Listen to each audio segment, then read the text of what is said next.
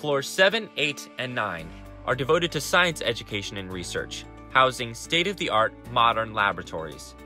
These include three labs for faculty and student research in biology and chemistry, six teaching labs for biology, chemistry, and physics, a tissue culture lab, and a microscopy lab, and support facilities.